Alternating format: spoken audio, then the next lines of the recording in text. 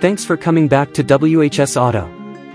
Get ready for the all-new MG HS, set to debut in Australia this August after its grand unveiling at the Goodwood Festival of Speed from July 11th to 14th. This next-generation mid-sized SUV promises to impress with a blend of style, performance, and innovation.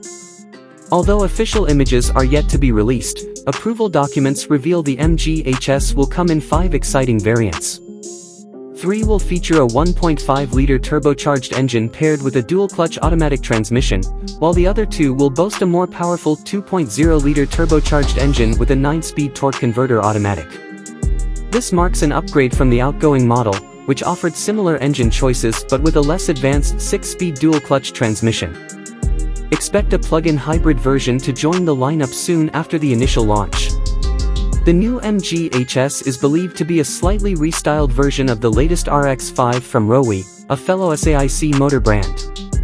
Patent filings from Europe show an MG-badged vehicle almost identical to the Roewe RX-5, except for a different front fascia. In China, the RX-5's 1.5-liter four-cylinder engine delivers 138 kilowatts of power and 300 newton-meters of torque, which is a significant boost over the current HS.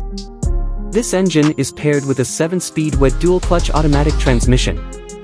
While the Chinese RX-5 does not offer a 2.0-liter engine, such a powertrain is available in other SAIC motor models, like the MG7 sedan, which is also coming to Australia.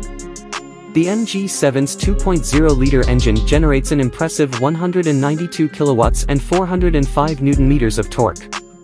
The RX-5 also features a plug-in hybrid option, combining a turbocharged 1.5-liter petrol engine with an electric motor and a 10-speed automatic transmission. This setup produces a total of 183 kilowatts and a substantial 570 newton-meters of torque, offering an electric driving range of 61 kilometers on the lenient NEDC cycle. While pricing for the new MG HS is still under wraps, the current model starts at $29,990 before on-road costs, with the HS Plus EV priced from $49,690 drive away. Despite its competitive pricing, the HS is currently the least popular model in MG's Australian lineup, with sales down 63.1% compared to the same period last year.